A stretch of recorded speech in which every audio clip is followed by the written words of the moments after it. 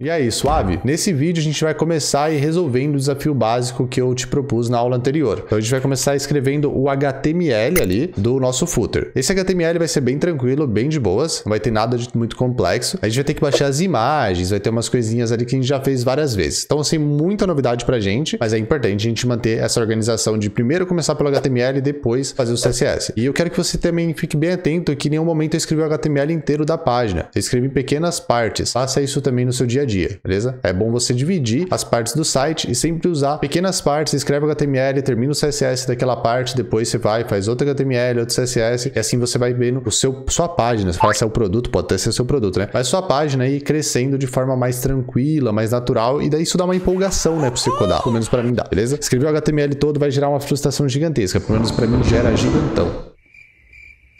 Nem sei se essa palavra existe, mas é isso aí. Então vamos lá, vamos fazer o rolê aqui. Ó. O que a gente vai ter que fazer? Nossa index, eu vou adicionar o rodapé, que é um footer, né? O footer em o rodapé em inglês se fala footer. Então aqui no final, ó, eu vou adicionar aqui o nosso footer. E dentro desse footer, pelo que a gente, pelo que eu me lembro aqui, tem três imagens que cada imagem é um link, né? Então a gente pode usar aqui o image ao nosso favor. Então eu tenho um footer, dentro dele eu vou ter links, mas são três na verdade, então vezes três. E dentro desses links eu vou ter imagens, certo? Eu vou dar um enter. Olha lá que interessante. Já já funcionou tudo aqui, ó, tá bonitinho. Eu vou só indentar, né, quebrar aqui, eu vou, posso até fazer assim, ó, selecionar o primeiro A, dar um Ctrl D, outro Ctrl D, usar os direcionais para direita e para esquerda, dar um Enter, já quebra para linha de baixo. Apertar o Ctrl, seta para direita, ó, para ir navegando em, em, cada coluna, até chegar no final do A aqui, ó. Aí eu dou um Enter na felicidade e pronto, tá tudo indentado. Ah, quero indentar também esse, essa imagem aqui, então vou subir com a seta direcional para cima e para baixo aqui, né, para cima na verdade para subir, vou segurar o Ctrl de novo e pro lado direito, até chegar no MG e vou dar um Enter. Pronto, agora sim tá indentado legal. Ó. Já indentou do jeito que eu queria. Só faltou o footer aqui um pouquinho para baixo. Mas usando né, o Ctrl D, as teclas de atalho aí do seu VS Code, fica muito mais feliz, aí é muito mais rápido. Então, esse rolê aqui já tá finalizado. Se eu voltar lá no navegador e ver como é que tá... Opa, nosso projeto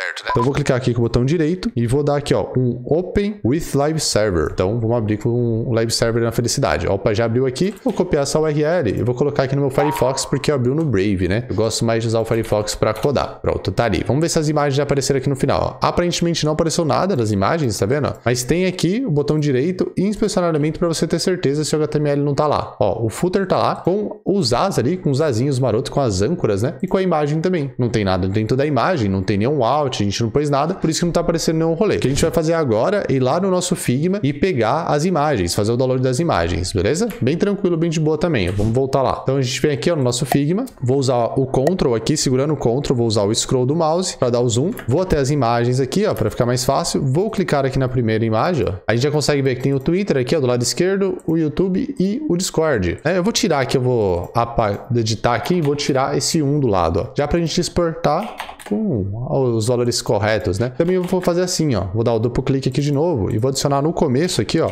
icon traço. E aí a gente já vai editando aqui para ficar exatamente o nome do arquivo para na hora de exportar ajudar, né? Aí eu só jogo para pasta de imagens e está tudo tranquilo. Então, icon traço. Agora sim, vou selecionar todas de uma vez, ó. Aí eu posso vir aqui no export do lado direito inferior, clico aqui no mais e clico em export. Quero em PNG mesmo, não quero nada muito complexo, tá? Então, export e vou dar um enter. Ele vai fazer o download. Vou clicar aqui em cima, vou clicar na pastinha para abrir o nosso arquivo de arquivo zipado, né? Que ele vem zipado aí. A gente já pode chegar aqui, ó. Cadê? Como que era o nome? Aqui.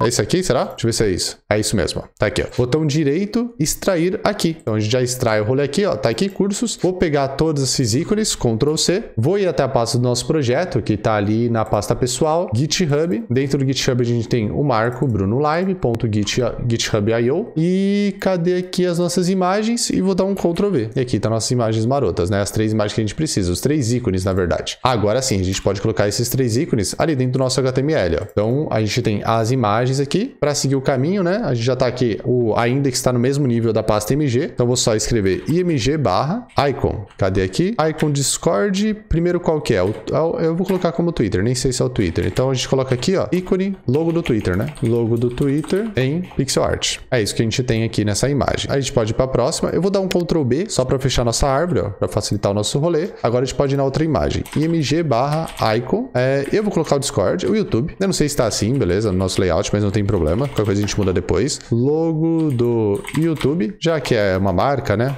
Vou tomar esse cuidado aqui de deixar maiúsculo. YouTube em pixel art. Pronto. E aqui no Twitter a mesma coisa. Agora a gente tem uma última imagem, mg barra. O que a gente tem aqui é o Discord. Então, logo do Discord em pixel art. Pronto. Agora a gente precisa do link de cada coisa aqui, né? Eu preciso do link do meu Twitter. Então, isso aqui eu sei de cabeça já. Uso bastante todo dia. .com barra Marco Bruno Dev. O meu YouTube também é a mesma coisa. Então, eu vou roubar aqui um pouco. Vou copiar tudo isso. Vou jogar aqui para baixo o Ctrl V e vou trocar o Twitter pelo YouTube. Perfeito. O Discord já não é assim tão simples, né? É um link meio puxado. Mas eu vou pegar aqui no chat da, da própria Twitch. Tem um link maroto, ó. Se você vir aqui na Twitch, na Twitch, Twitch, é, twitch.tv barra Marco Bruno Dev e for lá no chat, se dá exclamação Discord, vai aparecer o link para você. Mas é esse aqui, ó. No caso, é legal você ter o seu próprio servidor de Discord se você for criar um, né? Tá ali bonitinho, voltou no navegador, vamos ver se já foi legal, se todas as imagens já estão aparecendo no final. Ó lá, todas as imagens estão ali. É essa ordem que tá no layout? É essa ordem, assim querer eu coloquei na ordem certa aí. Então, agora sim, nós temos o HTML completo. Todos os links funcionando, né? É bom testar sempre, ó. Legal, você vai pro Twitter, você vai aqui pro YouTube, né? Tá certinho também. E você vai aqui pro Discord, né? Vamos ver se vai pro Discord também, ó. E foi pro Discord também, beleza? Então tá tudo funcionando, né? Abre o meu Discord aqui na minha cara agora. Esse é o rolê. O que você pode querer é que na hora de você clicar em qualquer um desses ícones, como é uma rede social, de repente você pode achar interessante abrir uma nova página, abrir uma nova aba dentro do seu navegador. Para você fazer isso é bem tranquilo. Olha o que você vai fazer. Você vai voltar ali nos seus links e colocar no lugar aqui um atributo novo, além do href, não no lugar, na verdade, um target igual underline blank, beleza? Então eu vou pegar e copiar isso aqui para os demais, ó. Deu um Ctrl C, Ctrl V, Ctrl C, Ctrl V. Toma só muito cuidado, não abusa disso. Isso não é legal você fazer para as páginas realmente que estão que são do seu projeto. Porque isso complica um pouco para SEO, para busca, beleza? É aquele esquema de você ter uma engenharia, otimização, né? Uma otimização, uma engenharia de otimização para busca. Isso não é legal, isso não é bem visto. Você fazer com que dentro do seu próprio site, quando você clica numa página dentro do seu próprio site, abre uma nova aba, beleza? Isso é ruim para a navegação do usuário, a experiência do usuário. Mas quando é um site externo ao seu, isso o usuário já espera que aconteça. Então você pode fazer sim, sem problema nenhum, beleza? Vamos ver só se está funcionando? Voltar ali no navegador, ó, dá um refresh, nem precisa na verdade, né? Olha lá, cliquei e já abriu uma nova aba, tá vendo? Se eu clicar aqui, ó, vai abrir numa nova aba também. E se eu clicar aqui, vai abrir numa nova aba. Então o Target Blank faz isso, só abre numa nova aba pra gente. Isso já é o suficiente. Vamos voltar aqui, quer ver? Ah, acho que é só, né? É isso aí mesmo. É isso que eu queria te mostrar, é isso que eu queria mostrar nesse vídeo, só o básico aí do HTML, né, do nosso footer. E é isso, valeu, brigadão e bora pro próximo vídeo.